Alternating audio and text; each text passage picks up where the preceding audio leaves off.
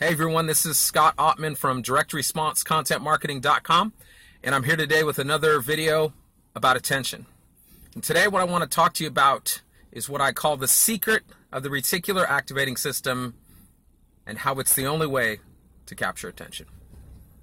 If you're wondering why I'm talking about attention in the first place, check out my previous video titled Without Attention, There Is No Marketing, and you'll get a clue about why I'm focused so much on attention. But today, what I want to talk to you about is the reticular activating system. It's a portion, or not a portion, it's a part of the brain that allows us to focus and pay attention to some things and to ignore and block out everything else. If we didn't have that part of our brain, we would go insane from all of the st- stimuli that's coming at us every single day the sounds, the, the smells, the audio, I guess I just said sounds, huh? The sounds and the audio. Um, all these different sensations would overwhelm us. We would never be able to actually focus. But the reticular activating system allows us to focus and to block out the rest. An example of it might be if you are a parent and you had your first child and you suddenly are walking down the street and you're noticing everywhere people seem to have kids. Newborn kids seem to be everywhere. And you start to think, is everyone having babies suddenly? Suddenly. Did I say suddenly? I don't know. You can rewind the video, see if I said suddenly or some other word. Um, but the, the answer to that question is people have been having babies since the beginning of time. It didn't just suddenly happen now that you have a kid. But what happened is now that babies and newborns are something that you focus on and think is important, suddenly you you pay attention to them. Suddenly you notice what has always been there, but that your reticular activating system was ignoring. Now think about that for a second. If it's something that you think is important, boom, beep, it registers on your reticular, reticular activating system. And that's the same for any prospect that you're trying to get to read your copy, your content, or any other type of marketing. And so the key again is to go back to what I've talked about in my previous videos. The thing that you need to pay attention to first is your prospect. You need to figure out what is important to them. I talked about this in some ways so that you can wiggle in and get through the reticular activating system. Because the reticular activating system is either going to be your friend if it deems you worthy or dubs you worthy. I don't know, one of those words work. Um, and it's going to be your enemy if it if the reticular activating system decides that your marketing, your content, whatever it is, is not worthy. And so the key is going to be to tie your content into things that matter to your prospects and or to tie into things that are uh, pattern disruptions in their life. Is there a plural of pattern disruption? I don't know.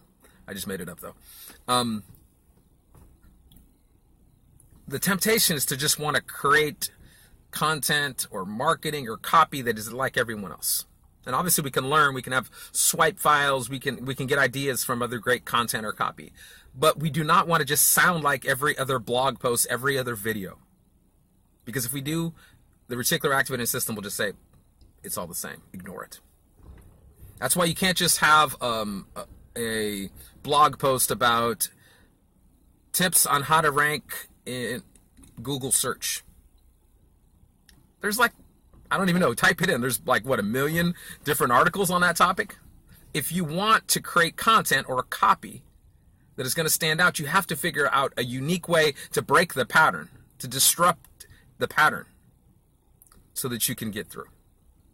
And so you might want to say um, 17 and a half SEO tricks learned from my kindergartner.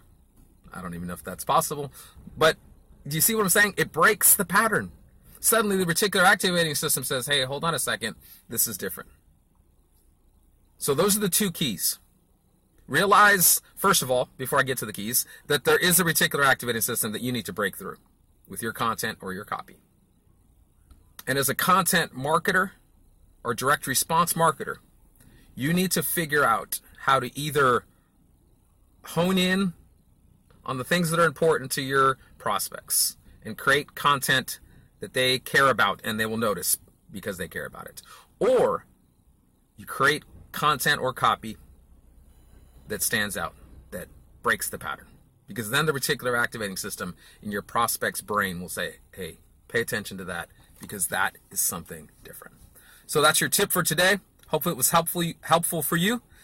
Thanks for taking time to watch this video. And really quickly, if you haven't subscribed yet, all you got to do is just click the little button on your phone or move your mouse over or on, the mouse pad and click it. Um, also, check out our site, directresponsecontentmarketing.com. I've come up with a completely new way of thinking of marketing, a, a new type of marketing that I think you might be interested in. I have a free membership area where there's resources that I've already put up there that you can get a hold of, and there are going to be more resources. And in future days and weeks, I'm going to be posting video that is exclusive just for my members on directresponsecontentmarketing.com. Anyway, thanks a lot for taking the time to listen today. Take care.